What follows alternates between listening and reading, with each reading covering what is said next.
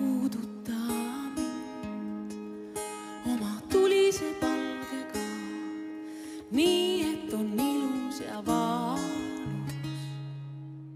tere, armsad Puuduta mind saate vaatajad ja tere tulemast, Ralf Neemlaid, tervendaja. tere, tere.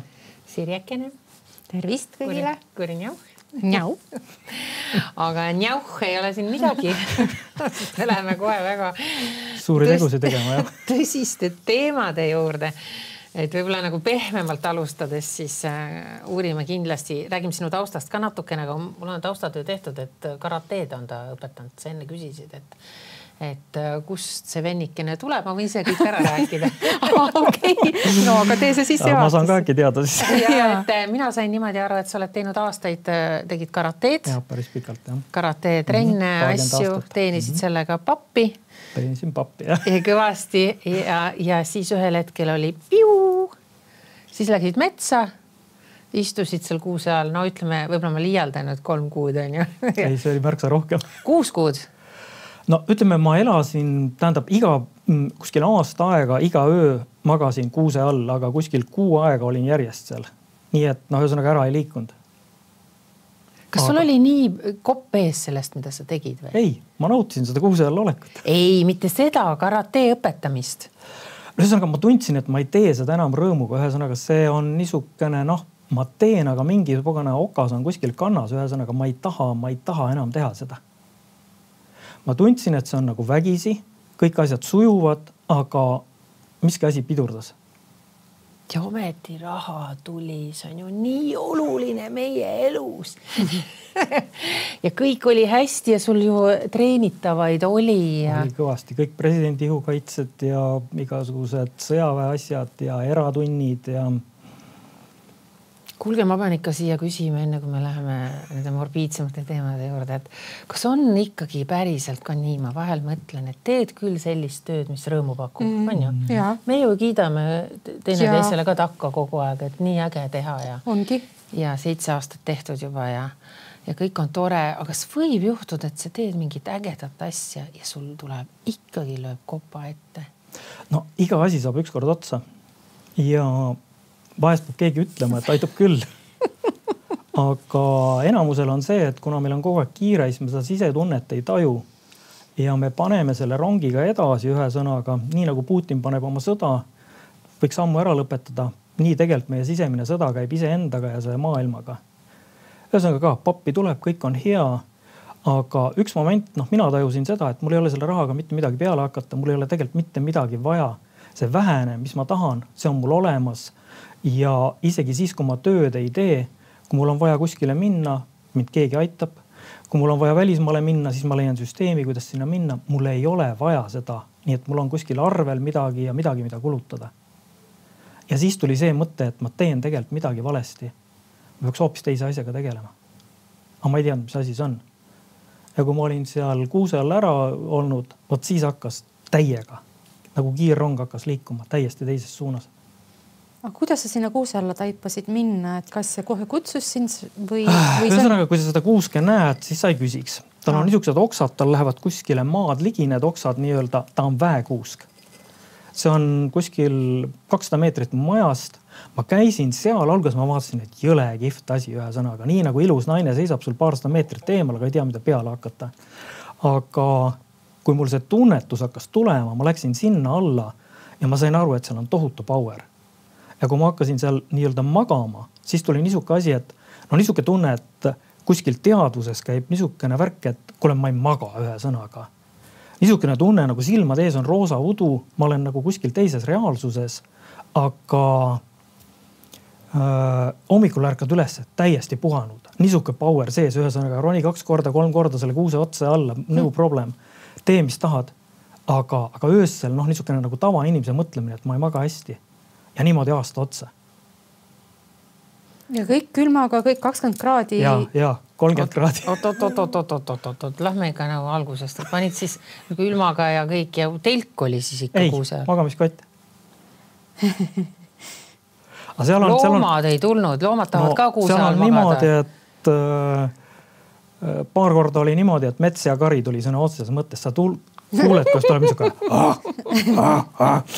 ja siis, siis on niimoodi, et noh, alguses ma vaatasin, et huvitav, kes kus, aga siis äh, pärast oli niimoodi, et ma teadsin juba, kutid tulevad, ühesõnaga perega ja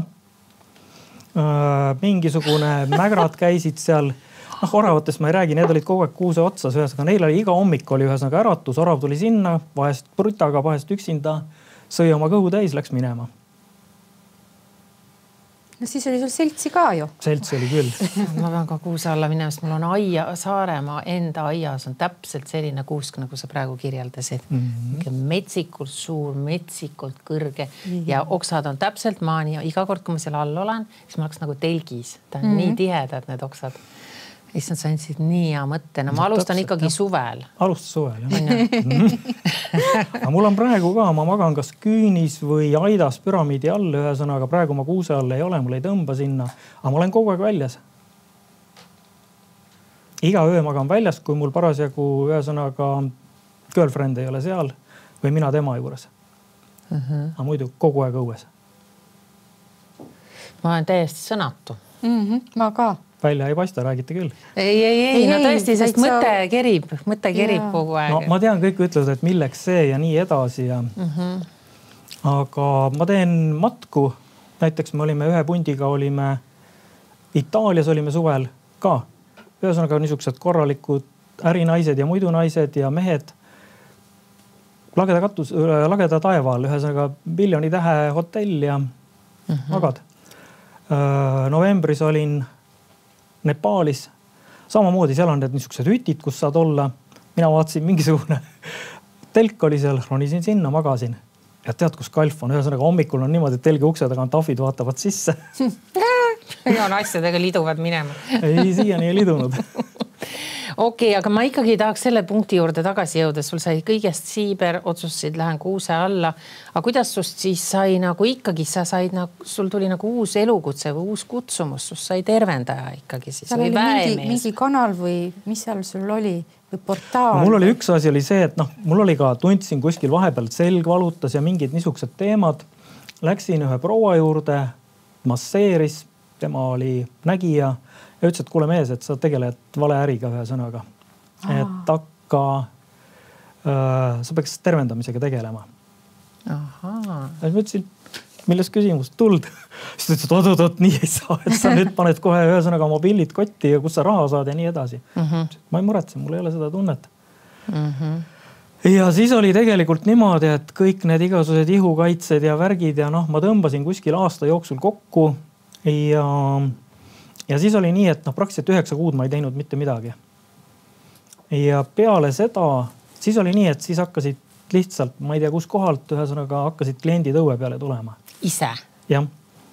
aga enne seda oli see teema, et noh, ma olin, ütleme seda nii-öelda hingeabi või kui ma olin karatetreener, ma olin inimestele lahti sela- seletanud, mida teha ja kuidas teha ja. ja mõtlesin, et noh, need tulevad raudselt, aga need vaatasid, et kuule, et see on peast soe mm., ühesõnaga selle juurde me küll ei lähe, et see on seal metsas, ühesõnaga lõpetas hea businessi ära, nii nagu normaalne inimene mõtleb, et mm. -hmm. et sellest hoiame parem eaga eemale. Mm -hmm. ja Vahepeal- tulid hoopis uued inimesed täiesti uued, ja leidsid su ise. praktiliselt küll jah. ma ei tea, kuidas või mis, aga hakati tulema jah halleluuja, nii no tead, lähme edasi, mis me siin songime Jaa. teise inimese sellest. hakkame siis kohe asjast rääkima, et kuidas siis leida see sisemine rahu ja, ja, ja, ja, ja me enne saate algust rääkisime ka veest, seal teises ruumis ütlesid, et inimesed jooge vett, see on A ja O. no räägi nüüd natuke sellest ka lähemalt. mis mõttes, me joome nagunii vett ju. Aga joome siis, no joome, valikut ei ole. lööme kokku ka. kill, no nii, tervist terviseks mm. mm. -hmm. -hmm. nii, räägi veest no vesi on niisugune värk, et ähm, see on kõige alus. ja enamus inimestel on nii, et vett on vähe. no kes minu juurde tulevad, no ütleme noh, niisugusel üheksakümnel protsendil on ikkagi veepuudus. Nad oma arust joovad, kui ma küsin, palju sa jood, siis ta ütleb, oo ma joon kõvasti, ma ütlen, et davai, no problem. võta üks kann ja vaata, palju sa sellest päeva jooksul ära jood, siis selgub, et ta võtab võib-olla noh, ma ei tea, ühe klaasi või kaks klaasi. tegelikult on nii, et kolmekümne kilogrammi kohta, kaalu kohta tuleks juua null seitsekümmend viis kuni liiter. nii et kui sa oled kuuskümmend kilo, siis poolteist, kaks liitrit. Oled üheksakümmend, siis niisugune kaks seitsekümmend viis kuni kolm, midagi niisugust mm. -hmm. kui sa nüüd jood niisuguse pudelitäie õlut, siis sa peaksid, õlu viib, selline pudelitäis õlut viib välja umbes kaks-kolm pudelitäit vett. siis sa peaksid sellele kahele-kolmele liitrile lisaks jooma veel kolm sellist pudelit. ehk siis ühele õlupudelile lisaks äh, nagu kolm õllepudelit vett. vett. et lihtsam oleks aru saada, eks ole. täpselt. kui ma joon tassi kohvi, palju ma peaksin jooma vett? kaks-kolm tassi Sama vett juurde, jah. Äh, vett juurde. kui ma joon klaasi veini mm,? kolm-neli veiniklaasi vett. pits viina viis-kuus-seitse, olenevalt kui kange on, vett. ahah nii, no aga me oleme siin veeinimestega varem ka intervjuusid mm -hmm. teinud ja, ja siin loetakse nagu mantrat meile, et veel ja veel on erinevus. et see, et sa jood seda kraanivett või pudelivett, see on täiesti tühja joomine, et seal peaks natukene seda soola või, või soodat või ta peaks aluseline olema. no ütleme niimoodi lühidalt, ma võin öelda, et äh, ma olen ka seda kuulnud, ma olen internetis näinud seda lisamist, räägivad need, kes müüvad seda, mida lisada tegelikult on vesi vesi. Kui sa teed ta aluseliseks sellega, et ostad ühe sidruni, paned sinna sisse, super. ühesõnaga, see on kõik asi. kui sa võtad sellesama vee ja räägid selle veega, lased talle oma energiat, siis me võime selle ära teha kohe. teeme teeme, mul ei ole enam vett. sul ei ole vett, vot said, aga mis ma ütlesin sulle enne saadet, ma toon sulle vett. aga vot. aga teeme ikkagi. teeme no, ikka. see on ühesõnaga pudel on siin. nii, oota ütleme, mina teen niisuguseid harmoonia energiakursuseid, kus ma avan selle anormoonia kanali, aga selleks, et nüüd selle veega peale hakata, paneme ta korraks ära ja teeme ennast nii-öelda töökorda. pöörame käsi. nii, naeratame ka ühes nii, ja nüüd laseme kõigepealt endale energiat, paneme ühesõnaga käed näo peale, mõnuga. tunnetame hingamist käed on silmade peal, aga naeratame. hingame kõhu täis, rinna täis ja niisugune tunne, et hingame ka natuke pähe. mõnuga ja veel ja laseme rahulikult õhu välja ja hingame veel. nii hästi, vaatame nüüd üksteisele otsa korra, võtame käed ära natukene silume pealage, ühesõnaga siin on see taevavärav või kroontšakra, ajate natuke soengu sassi, pole hullu. kas mul nii, ja nüüd läheme ühesõnaga hellitame natuke ennast näpuotstega. aga Te... väga kummaline, ma lihtsalt teen selle remargi vahel, ma teengi iga hommik täpselt kõike seda. ma teen seda. ka sama asja iga hommik. vaikselt, rahulikult. mis sa arvad, muidu, muidu nii ilus ja sile olen ja nüüd võtame lõualihased ühesõnaga, kui sa lased lõualihased lõdvaks, siis tegelikult, kui sa tundega lased ja see tunne on niimoodi, et sa tajud seda, et see energia liigub sul siit lõugadest naba alla, kus on tantien või ühesõnaga hara või siis ühesõnaga väepunkt. siis on nii, et su siseenergia hakkas liikuma. ma ei tea, tunnete niisugune nagu kerge niisugune uimasus või mingi, mingi niisugune tunne tuleb sisse? mina tunnen küll. mina tunnen ka. väga hea. mul kõhus keerab kohe täitsa. väga hea nii, aga nüüd me oleme valmis, võtame Võt, selle veepudeli, veepudeli. sirjel, mida ei ole. teeme niisuguse tähtsa näo pähe, et nagu jagaks ka asja ja natuke hoiame ja räägime selle veega. Mhm. -huh. ühesõnaga vesi, sa oled elu alus. mul läheb sind kindlasti vaja, ma joon sind mõnuga ja ma austan sind, ma ei raiska, ma olen sinuga kontaktis ja sa äratad ellu kõik mu rakud, kõik mu organid ja ma olen väga tänulik selle üle. aga see on niisuguste oma sõnadega, nii, mis tuleb mm. -hmm. südamest. jah, naeratad natuke ja ongi klaar ühesõnaga. ja keerad korgi lahti. keerad korgi lahti. ja jood minul seda. on ta täitsa olemas. ühesõnaga, kui sa oled korra ennast nii-öelda aktiveerinud, siis on nii, et tegelikult ükskõik kellega sa kokku saad, kuhu, kuhu sa lähed ükskõik maailma kohas, kus sa veega kokku puutud. tegelikult on nii, et kui sa paned selle näpu vette, siis ta jääb sul külge. ta jääb nagu rippuma, sa oled veega kontaktis. see tähendab seda, et keha võtab selle vee omaks. aga kas see peab nüüd olema siis äh, see nii-öelda ära laetud vesi või, ja tavaline vesi tuleb näpu otsast ära või? jah, seda ma tahtsin küsida ka kui sa, tavaline vesi nagu tuleb nagu hane selga vesi, ta läheb maha. aa, läheb jah? aga sa võid ühe korra näiteks kuskil jõe ääres või mere ääres võid seda teha ja, ja sa teed selle diili nii-öelda kogu maailma veega. tõsiselt räägid või? Vau. ma lähen kohe jõe äärde. kohe sadamasse Vau, ma räägin küll hommikuti oma kohviga. seal on ka ju vett ja räägin, ma ei hakka enne joomagi. räägi, räägi selle veega, mida sa kohvi sisse paned või, või kuhu sa kohvi sisse paned. no ja siiamaani hea, et ma kohvigagi räägin Vau, kui tore, see on ju nagu ka selline iseenda rahustamise mm -hmm. moodus ju hetke mm -hmm. mahavõtmine, rahunemine, mediteerimine mm. -hmm. igas mõttes on see tore ja Täpselt. kasulik. ja siin on nüüd see, et miks see vesi, enamusel meist on rakud nagu kuivikud, rosinad, peaks olema nagu päts leiba või nagu viinamarjad. kui neil vett ei ole, siis ta on ühesõnaga niimoodi kortsus ja sealt ei käi valgus läbi. seesama taevavärav või kroontšakra siin pealae peal, sealt tuleb, ütleme, see valgus sisse ja ta läheks, tahaks minna kogu kehasse. aga kui siin on niisugune kortsukraam nii-öelda, siis ta ei pääse läbi. ta ei mhm. pääse kuigi kaugele.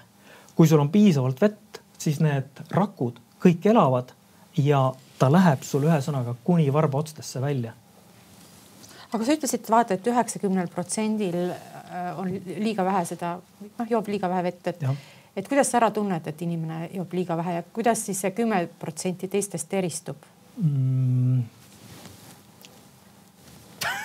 mis on? kümme protsenti istub siin no ta on tegelikult niimoodi, et äh, kui, kui sa natuke aega oled selle inimesega rääkinud, siis on see tunne, et ta põhimõtteliselt elab kuskil minevikus, elab kuskil romulas. Ütleme, ta ei ela siin ja praegu selles hetkes, aga ta hüppab niisuguse mineviku ja tuleviku vahel. ta ei suuda seda hetke nautida. mul on nii, et noh, näiteks siin oli paar päeva tagasi jaanuaris, ma läksin välja ühe inimesega, noh, ütleme, tuli nii-öelda klient, patsient. noh, ta oli omadega suht hädas. mina räägin, vaata kui kihvt on, ühesõnaga, et see kuuled, ühesõnaga see äh, laulab laulab, kakk laulab. esimest korda ma kuulen ühesõnaga värv kakk laulab jaanuaris. tegelikult nad hakkavad pulmitama alles kuskil märtsis. mis kakk? ma ei kuule midagi. las ta laulab. aga, aga saad aru, see on niisugune nagu, no ühesõnaga nagu käid tänaval, vaatad kuskil kuue poole meetriste jalgadega blondiin läheb, vaatad järgi. kurat, jõle kihvt, aga sa lähed edasi, ühesõnaga sellest pole midagi. ma kuulan seda, ma naudin seda ja see on see tunne, et sa oled kontaktis selles hetkes, siin ja praegu ja see on kõige olulisem. aga kui sul vett ei ole, siis sul ei ole seda intuitsiooni, ei ole taipamisi, ei ole äratundmisi. siis sa oledki niimoodi, mõtled, et ahah, eile tegin seda, täna on see, see, see vaja teha, ühesõnaga sa oled niisugune nagu, nagu masin. aga kui sa oled ühesõnaga selle veega kontaktis, sul on piisavalt vett, siis sa teed neid asju, mis sulle meeldib, sa paned täiega teistele võib tunduda niisugune nagu lapsemäng, aga, aga tegelikult. ma hakkan kohe jooma mm.. oi kui põnev. okei okay,, et ja, sa, et ja sa hakkad elus hoopis teisi asju nägema. ja, ja okei okay.. ma olin ühe pundiga, olin Peruus ja no ühesõnaga, seal on neid kodutuid koeri on üksjagu äh,. hakkasime Machu Picchule minema, enne peeti kinni, ühesõnaga kuskil söögikoht Läksin välja, vaatasin koerad. Läksin tagasi, võtsin ühe taldriku ja vaatasin, inimesed olid laua taga. Oli söömise lõpetanud, niisugune lobisemine. Läksin lihtsalt hakkasin neid ülejäänud lihatükke korjama. ja vaatasin neid nägusid, kõik vaatavad, kuradi tropp, ühesõnaga mida ta teeb no.. Läksin sinna, hakkasin koeri söötma ja tead, nad tulid, lakkusid ja nii edasi ja siis üks noor daam tuleb, ütleb, et see on midagi müstilist, mis sa teed. et ma vaatasin, et mingisugune tropp tuleb, korjab ühesõnaga näritud liha ja läheb välja ja kindlasti läheb nurga taga sööma. ütles, et ühesõnaga mul käis niisugune veski peas. ja kui ma nägin neid koeri ühesõnaga, noh, tegelikult ta tuli, ta nuttis, ta kallistas ja ütles, et mul on nii piinlik enda pärast, aga ma peaks ise täpselt sama tegema. ma ütlesin, et see on ju nii lihtne, mine tagasi. sa leiad veel seda liha, mine anna koertele, nad võtavad su, jagavad armastust. aga need asjad sa näed siis ja sa teed õigel ajal õiges kohas neid asju. sa hakkad nagu märkama asju hoopis teistmoodi minu meelest ei ole sellest mitte midagi erilist, kui aus olla. minu meelest see on nagu täiesti normaalne käitumine lihtsalt mm. -hmm. nii, nii nagu, nagu ka mina teen, aga noh. kuule, aga meil on saade läbi, jooge vett. ja jooge vett Lähme laiali kuulge, aga meil oli siin üks omaette teema ka. oota, aga sisemise rahuni me ei jõudnud. sisemise rahuni, ai õige, ma mõtlesin, et sellega ongi rahu käes juba.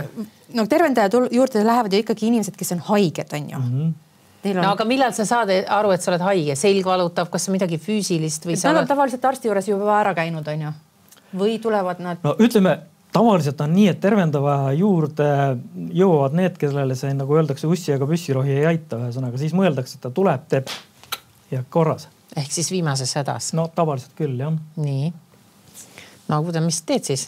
ma räägin korraks sellest sisemisest rahust ikkagi. räägi, räägi, räägi, räägi, räägi. ühesõnaga see, see sisemine rahu on niisugune noh, niisugune mõiste seda-teist. aga see on täpselt, et noh, mis on mets? kas mets on need puud, mis kasvavad, kas see on see metsarada, mis läheb sealt läbi? kas see on see tuulekohin, mis on latvades, see päike, mis paistab läbi okste? tegelikult minu jaoks on mets on harmoonia, tasakaal, vaikus iseendas ja metsas. ja sama on selle sisemise rahuga. et äh, noh, sisemine rahu, see on see, elad harmoonias. kui sa tegutsed, siis tegutsed keskendunult tegutsed täiega. ja on niisuguse lihtsa mõtteviisiga. sa ei punu mingeid keerulisi skeeme, sul on lihtsad asjad ja elad siin ja praegu selles hetkes ja saad intuitsiooni. ja sinna tuleb tegelikult ka see juurde, et sa saad aru, et sina ei ole see füüsiline keha. see füüsiline keha on see, mis sündis maailma, aga sina ei sünni ega sure. saad aru, et on midagi kõrgemat, midagi mina olen või kõrgem mina. ja kui sa selle ära tabad, vot siis sa saad selle rahu. enne seda on niisugune ulpimine siia-sinna jube lihtne rääkida. ja, aga ma mõtlen ja vaata, kui haige inimene, siis tal ikka keha on ju haige ja siis ja siis on see keha, mis vaevusi tekitab ja, ja siis ta ikkagi ju identifitseerib ennast selle kehana. vot siin tulebki see, et kui sa elad oma elu, liigud oma eesmärkide poole, siis on see, et sulle antakse tegelikult küllus, tervis, heaolu. sa võib-olla ei sõida Porschega, aga minul on korralik Toyota. mul on korralik jalgratas ja ma saan maailmas ringi liikuda, kus ma tahan sa saad täpselt nii palju kui vaja, kui ma tahan, söön kalamarja, kui ma tahan, söön ühesõnaga kaeraputru ja ma olen mõlemaga väga õnnelik. ühesõnaga, sa saad selle, mis sul vaja on, kui sa tahad midagi katsetada, proovida, siis sa saad ka need võimalused. aga ütleme, et kui, kui nüüd see äh, klient tuleb sinu juurde ja ta mõistab seda, mis sa talle räägid, ta saavutab selle sisemise rahu, kui kaua see võtab, et ta terveks saab? Ah, siin on nüüd niisugune asi.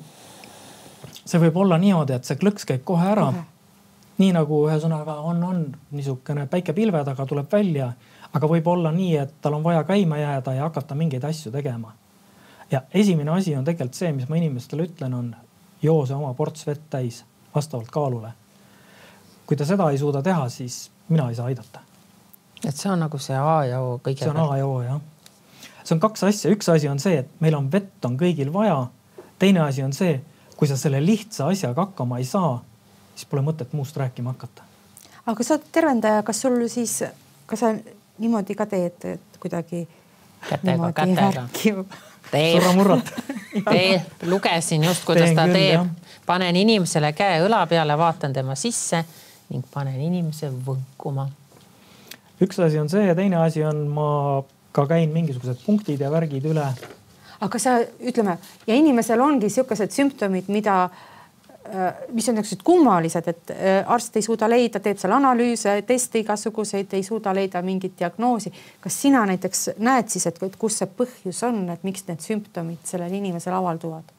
vot siin on jälle niisugune asi, kui oli siin, ma ei tea, mingi X aastat tagasi, siis ma üritasin leida, et ühesõnaga sellel on maks valutab, sellel kõht valutab, sellel on no,, ma ei tea, ühesõnaga radikuliit ja ma ei tea, mis muud jamad. ma ei tegele sellega. ühesõnaga ma näen see on kuskil energiaplokk ja tegelikult on vaja selle inimese see siseenergia liikuma saada. ja ma tegelen sellega mm. -hmm. see on täpselt nii, et noh, kui ütleme jões ei liigu vesi, siis on nii, et tekib see tohutu roheline mass sinna peale mm. -hmm. Inimesel on sama lugu. kui sa saad selle massi liikuma, siis kõik asjad juhtuvad ise. aga alati ei piisa ju sellest, et sa mingit energiat paned liikuma, sest et sidekude on juba tekkinud seal kuskil või ma ei tea, noh, mingid sellised asjad, et, et, et juba või, või siis veresooned on juba lubjastunud või ma ei tea, mis need õiged terminid on, eks ole, meditsiinilised mm. -hmm. et mis, mis siis on? Keha saab tegelikult, kui tal energia liigub, kui tal tekib nii-öelda see uus visioon, uus nägemus, kuidas eluga edasi minna, siis keha korrastab ennast väga kiirelt hmm.. see on täpselt nii, kui lilled on vees, kuivavad ära, kui sa paned selle kastad ära,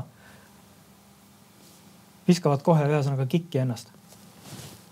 Okei okay,, kas sa saad, see üks asi oli see vee teema, et sa ütled inimesele, palju sa vett jood, kontrollid ära mm. -hmm. aga kas sa võid ka inimesele, ta tuleb, istub su vastas. oskad sa teda lugeda ka nagu, et mis seal nagu siis nagu valesti on, kas see on? ma leian need kohad, kus energia seisab lihtsalt vaadates inimese peale? Äh, põhiliselt katsudes, ühesõnaga katsudes ma saan lihtsamalt mingid asjad ma näen, mingid asjad ma katsun ja hakkan siis selle masseerimisega nagu seda lahti. mida sa katsud kõigepealt? ma panen käe õla peale no.. järsku me proovime või? ma tahaks ka teada, mis mul viga on. oled sa nõus või?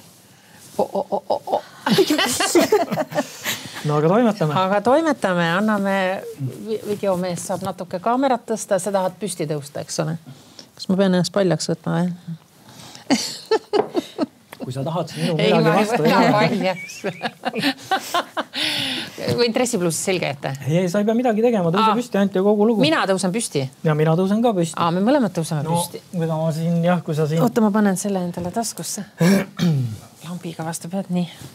oota, ma panen ennast niimoodi. tule natuke siiapoole või, oota. Äh, pane sina näha. ise mind. okei okay., nii vaata mulle otsa korra. nii äh,. Sa tahad tõesti, et äh, ühesõnaga ma tasakaalustan su energiat ja vaatan, mis sul toimub? absoluutselt tahan. väga hea, see sobib mulle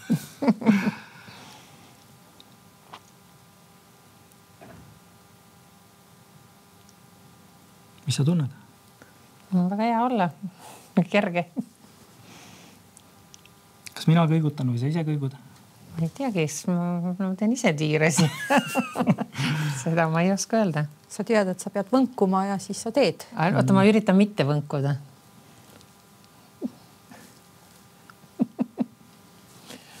ei õnnestu. ühesõnaga, ma toimetaks sul maksaga. no seda ma arvasin joodik nagu mina tead, ma võin sulle öelda, et see Holko on täiesti köki-möki. ühesõnaga, tegelikult on see, mis maksa rikub, on emotsioonid, tunded, mis jäävad kuskile sisse oh.. kui sa, kui sa saad oma nende öö, emotsioonidega hakkama, siis see füüsiline keha saab kõige muuga hakkama. Öeldakse, et noh, ühesõnaga meestel on ühesõnaga maks läbi sellepärast, et nad kärakad panevad, aga tegelikult on need sisse jäänud emotsioonid, millest ja, ei osata vabaneda. appikene. oota, nüüd ma olen natuke vakka, ma korraks keskendun.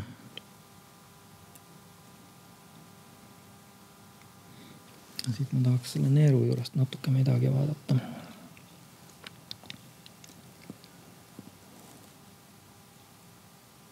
kas sa tunned, niisugune nagu vibra tuleb sisse? jaa mm. -hmm.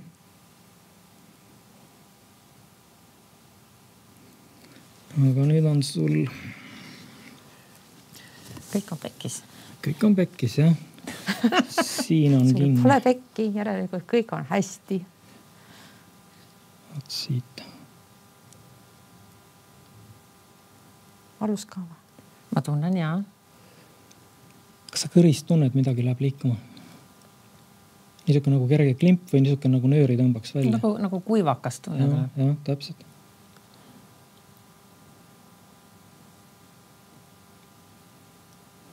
no nüüd võib peast käia niisugune nagu uimasus või niimoodi läbi. ja ma saan koju minna magama nii ja nüüd ma tahaks siit natuke toimetada. nii tore nagu arsti juures täpselt. issand, arst ei tee Näita kunagi, arst vahib sedasi niimoodi ja, ja, ja, ja annab sulle t- tabletid. kui arst teeks niimoodi, siis ma arvan, oleks me kõik palju tervemad. siis mul on täiesti siin peas nagu jah, sul on pea on paks, ütleme niimoodi mm. -hmm. ja siit on nüüd.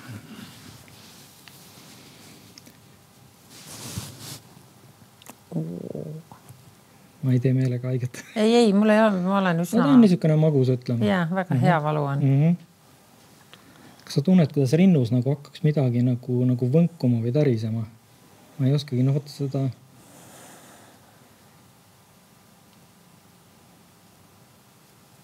Äh, lase natuke vabamaks, ta tahaks nagu suuremat ringi teha. mm. -hmm.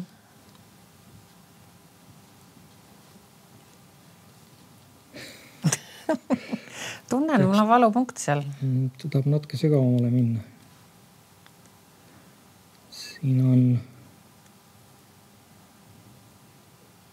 mingisugune teema on selle rahuloluga, kes sa oled naisena.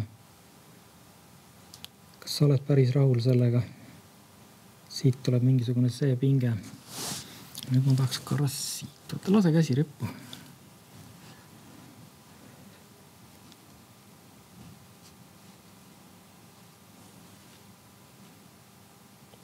Vot siin oik, oik.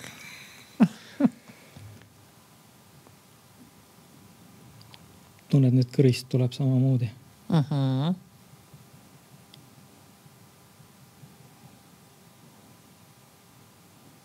ja nüüd on turja peal järgmine koht.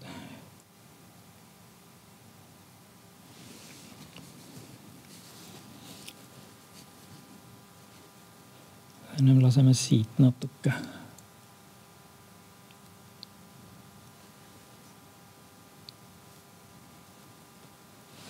Panen siia taha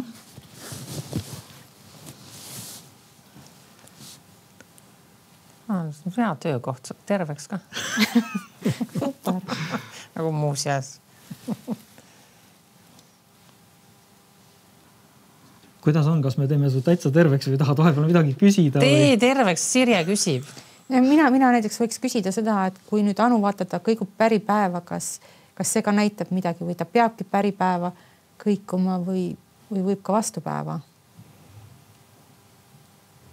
tähendab, see on jah, need on natukene, natuke erinevad ja ütleme, põhimõtteliselt on nii, et selle kõikumisega paneb selle sisemise tervendava jõu käima. ja kohati on see, kas on siis noh, ütleme kohati ta võib hakata ka ette-taha pendeldama. aa, vaata, ma läksin teistpidi praegu. sa läksid praegu teistpidi jah. ajasin ei, ei, ta, ta, ma ei tahtnud. ei, ei ta, ta ongi niimoodi, keha ise, ise otsib seda, ühesõnaga. Täiesti no põhimõtteliselt nii, et sa oled niisuguses nagu. ja nüüd vaata, ma hakkan nagu, nagu külje peale minema. no ütleme, need liigutused võivad päris huvitavaks minna. issand, see oli küll huvitav, ma ei üldse ei tahtnud suunda muuta, täiesti iseenesest. lase käsi lõdvaks.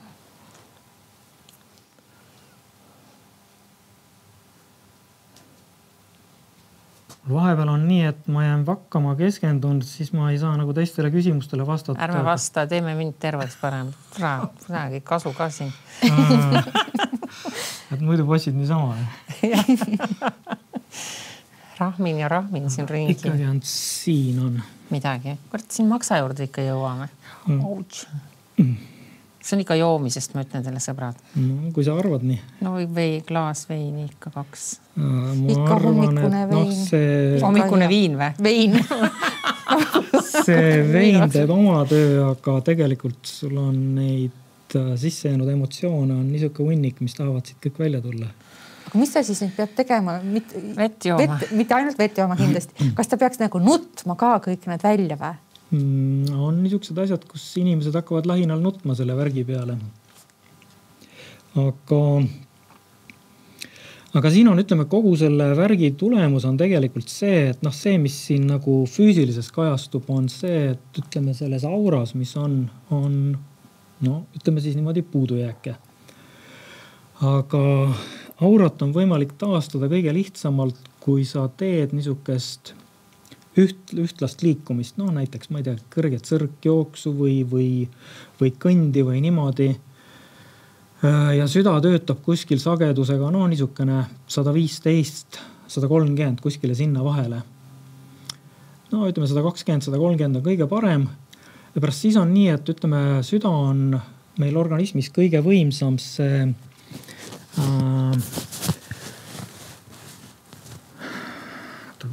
elektromagnetvälja looja ühesõnaga. ja kui ta loob selle elektromagnetvälja, sellega ta taastab aura. ja kui aura taastub, siis äh, ühesõnaga äh, taastuvad ka kõik organid, kõik liigesed, lihased. kas sa näed aurasid ka? midagi näen aga see aura siis, kui sa ütled, et ta natukene on midagi sealt puudu või tükke vahelt välja, kas ta siis ongi nagu kuidagi sakiline, et ta peaks olema selline hästi ühtlane? seal on jah, mingi kohati on niisugused tumedad kohad ja kohati on ühesõnaga noh, need värvid on no ütleme niisugused hallid ja niisugused sõjaväeauto värvi ja niisugused rohekad on aga me tegime ükskord, vaata Anu, mäletad, me lasime teha sinu, sinust aurapildi. vaata, tunned, nüüd tuleb niisugune värin tuleb sisse uh. -huh. Uh -huh ja sul oli nii ilusad värvid olid äh, indigo, sinine ja, ja, ja ilus lilla. inimene, kust sa koledad värvid no, saavad? täpselt, et, et kuida, mm. kust tuleb see pagana äh, sõjaauto roheline, ma mõtlen. ära praegu ütle, mis värvid mul ümber on tuleb tõde välja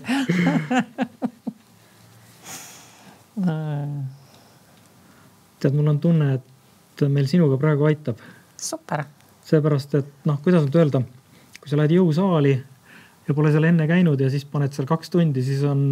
mul on teine saade ka täna veel, nii et. no ma arvan ka, et sa võiks ellu aitab, jääda. aitab, aga siin on ja imelikult tunded ja jube naljakas videoinimene võib tunnistada, ma tulin täna siia ruumi. ma ütlesin, et mul siit selg nagu valutab, väga harva selg valutab kusjuures mm. -hmm praegu on mm. yeah. praegu on tša-tša-tša täiesti wow. oh, väga lahe, väga lahe Äh, ja siin olid mõningad momendid, vaata, mis, äh, kui ma nüüd segast juttu hakkan ajama, on ju, siis ärge pange tähele. pange koti pähe ja kapuutsi pähe. et siis, äh, aga, aga ja et seal nagu no ma ei tea, kas sina nüüd liigutasid mind või, või, või mingid energiad, aga igal juhul nägid ise mingid, ma ei oli, oli jah, ma ka mõtlesin, et, nii, et huvitav, et kas Anu nüüd mõtleb, et nii, et ma pean hakkama kõikuma, et ma siis hakkan nüüd ringi tegema. ei, ei, ei seda ei. no vaata, siin on, sa näed, ühesõnaga keha nagu võtab selle juhtimise üle niisuguse oma sisemise tarkusega mm. -hmm. jah, ta nagu ise suunab, selline tunne -hmm. oli kogu aeg, et, et kui sa lased ennast vabaks, lõdvaks, et siis keha ütleb, et ma tahan nüüd nii teha või noh annab sulle selle märguande nagu mm. seestpoolt tuleb see. no siin on niisugune asi, ütleme sellega noh, ütleme siin jah, nüüd praegu niimoodi ei hakka toimetama, aga see, kui sa tahad täiesti nii-öelda seda sisemist rahu, siis on nii, et see kõikumine läheb päris intensiivseks. see tähendab seda, et ma peaksin alguses nagu oma kehaga näitama nagu selle liikumise ette.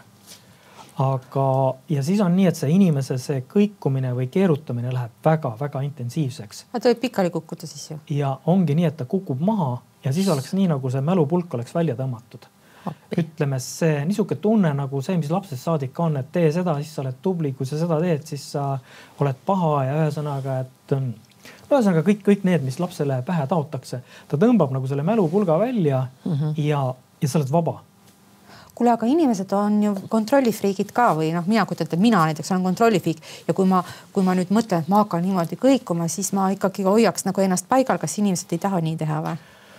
No ega see esimese korraga see tavaliselt keegi niimoodi niisuguse kuni, kuni pikali kukkumiseni ei, ei lähe mm. -hmm see peab olema, et ta peab olema täiesti vaba. ma üritasin ka alguses nagu oli kummaline, mis kõigutamine, üritasin ka ennast kohe jala peal hoida et, et ega sa paned alateadvuses ikkagi niisugustele anomaaliatele nagu sul tekib vastus. käsipidur vaikselt yeah, peale ühesõnaga. et seda ma tundsin ka enda mm -hmm. puhul nagu, et tahaks, aga noh, kõigud edasi, mis siin, mis, mis siin teha. ja sa oled sõrme juba andnud siis kuulge, sõbrad, räägime, saade liigub edasi, meil oli ju üks põnev teema veel et, et kui aidata ei saa. abivajajat aidata, kuidas abivajajat aidata, on ju, ja või siis ei olegi vaja aidata absoluutselt. no ma ei tea, siin on mitu äärmust, eks ole, kui ma vaatan tervet elujõus inimest, mul on tunne, et ta vajab abi, noh siis loomulikult aidata, kui on suremas inimene, ta on väga haige mm, -hmm. siis mul inimesena ju tekib ka reaktsioon, et ma ikkagi tahan teda hoida, ma ei taha teda ära lasta mm. -hmm. ma ei, noh, ma teen ükskõik mida, et teda veel hoida veel kuu või kaks või aasta või kümme või, või, või no kus see, kus see piir jookseb nüüd siis, et äh, millal aidata ja millal lihtsalt lased minna mm,? see millal on tegelikult selle inimese seest tuleb see vastus, kui sa oskad seda lugeda. ja inimene, kes ühesõnaga, kellel ei ole seda tasakaalu või rahu ta ise klammerdub väga tihti elu külge ahaa, et ta ei taha nagu ära minna. tähendab, ma võin teile öelda, vaata minu emal oli ju Alžeimer lõpuks või noh, dementsus. ja seda ma olen ka kuulnud, äh, et, et, et sellised inimesed, kellel sihuke diagnoos on, et, äh, et nemad nagu ei ole valmis lahkuma, et nad ei saa enam aru ja nad ei, hoiavad nagu kramplikult kinni ja seda ma nägin oma ema puhul ka, et ta hoidis nagu kramplikult elust kinni. no aga siis sa ei saa ju tal lasta minna ju mina ikkagi käisin no. kiriku juures iga päev ja palusin Jumalat, et Jumal võtaks ära mu ema, eks ole, sest et tal olid ikkagi piinad ja tal oli paha ja ja mina oleks tahtnud, et ta oleks nagu, nagu kiiremini saanud, saanud siit ilmast lahkuda. aga noh, ikkagi võttis väga kaua aega. no ütleme selle inimese endaga saab nagu suht lihtsalt hakkama, aga tihti on siis see seltskond ühesõnaga, kes, kes siis ühesõnaga tahab. no mul on näiteks niisugune juhus, kus äh, tuli üks härra, ta oli niisugune kasvaja niisugune viimane lõpp. ja vaatasin talle otsa ja äh, ütlesin talle, kuule, sa tahad diili teha? tahan küll. no räägi. ta ütles, et tead, tegelikult mul arst ütles, et sa oled siit, no ühesõnaga, et tal oli kuskil konsiiliumis käinud, mingi see asi ei meeldinud, kuidas talle öeldi, et noh, sa lähed siit ära ja nii edasi, sul pole midagi teha, et. et üks asi ma tahaks neile näidata, et kui ma tahan, siis ma olen ja teine asi on see, et mul läheb, laps läheb ühesõnaga sügisel kooli, et ma tahaks selle ära öö, näha. no see oli kuskil märtsikuus, talle öeldi, et tal on siin maksimum võib-olla siin paar nädalat jäänud ja nii edasi.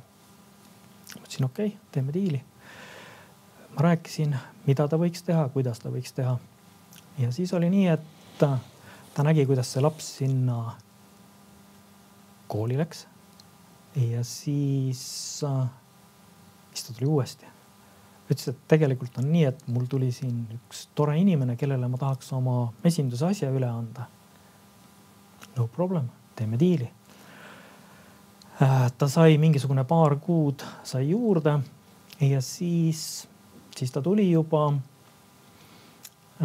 tuli, tal oli kolm-neli inimest kaasas. vaatasime üksteisele otsa, ma küsin, et ma pean vist nendega tegelema. ütlesid jah. ja siis oligi nii, et äh, tema ei tahtnud enam diili, ta ütles, et ta on kõik saanud, aga ole nüüd hea mees ja tee neile seal selgeks, et äh, laske meil rahus minna, et mitte seda juttu, et kuule, et, et tee veel diili ühesõnaga mm. -hmm. ma olen kõik asjad teinud, tal oli vanust oli mingisugune ma ei tea, kaheksakümmend neli, kaheksakümmend viis, no ma võin segi ajada neid mm -hmm, asju on nagu mhm. palju. ja ta läks peale seda minema, kui kõik lasid lahti. või teine juhus jälle noh, ka keegi niisugune päris hea tuttav ütles, et näed, mul on siin keegi inimene, ta oli keemiaravid ja värgid läbi teinud. ja äkki sa saad aidata. no ma läksin sinna, ma nägin kohe, et tema tahab ära minna. Ja, ja siis oli nii, et noh, umbes oligi nii, et no mis asja, tulid mind ellu äratama, ühesõnaga, et saadeti. mõtlesin, et ei, ma tulin, vaatan, mis värk on seal, läksin kööki, võtsin kannuga vett, hakkasin lilli kastma ja panin muusika mängima, õhutasin tuva ära ja panin käe kõhu peale ja siis me hakkasime juttu rääkima. ja see oli üks minule ka niisugune väga hea nagu koolitus. Muusika mängis, tõstsin ta püsti, niisugune vanem daam, hakkasime tantsima. ja kui me oleme tantsinud, ta istus maha, ta vaatas mulle otsa, ütles, et ma näen sõna otseses mõttes, et mul on lagunenud keha, aga ma näen ennast seda tõelist mina täiesti terve, tugevana. ma tean, et ühesõnaga ma ei ole sündinud, ma ei sure ja midagi minus jääb alati alles. ja ma tahan pigem selle uuesti sünnirada minna. aga ole hea, tee nendele teistele ka see asi selgeks. aga see, kuidas ta rääkis seda, see tunne, et ta nägi, ühesõnaga seda, ta rääkis oma mõtteid Äh, ta rääkis seda, kuidas tegelikult tal tuli midagi minevikust meelde ja ta sai aru, kuidas see, see nii-öelda see mõistus, see meel töötab väga teraselt veel. Ja siis ma küsisin talt, et kuule, kas tunned veel midagi peale seda, kui sul on keha, sul on see meel või mõistus. kes seda räägib või, või kes seda tunneb, et sa ühesõnaga lähed seda uuesti sünnirada.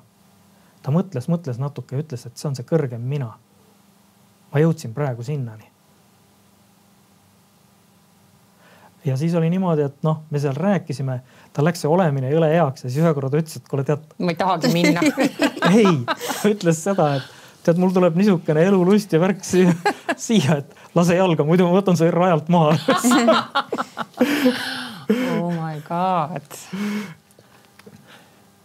praegu mul, kui sa kõike seda jutustasid, siis mul visualiseerus nagu selline asi, nagu sina oleksid nagu, no võib-olla see on halvasti öeldud, aga see surm kes siis tuleb ja otsustab nagu muinasjutus. ja mul oli ka umbes muuseas sama tunne ja mul tekkiski sellega seoses äh, see uus küsimus, et, et, äh, et kas sa saad nagu inimest teise ilma ka saata või?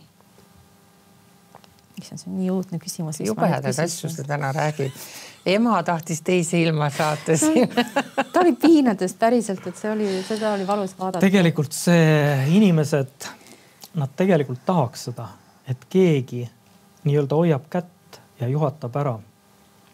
aga ma võin ühe teise loo rääkida. mul oli koer, kes elas kakskümmend pluss aastat. ja no me olime nagu sukk ja saabas, ühesõnaga no tõesti.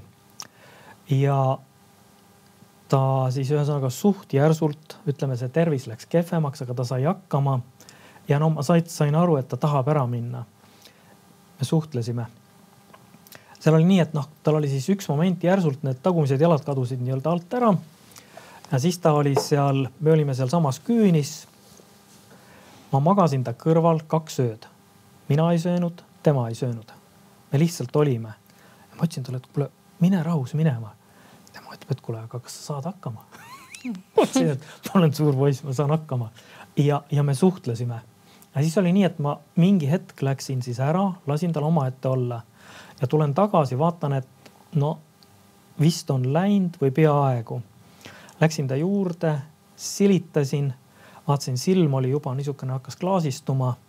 ja siis oli niimoodi, et noh, panin käe sealt koonu pealt ja niimoodi silitasin. ja siis ta limpsis paar korda. siis ma nägin, kuidas ühesõnaga tuli paar korda seda hingeõhku, see oli kuskil, no oligi praegu siin kuskil veebruar kakskümmend paar korda tuli seda hingeõhku välja ja siis enam ei tulnud. ta läks rahus. sama asi on inimestega.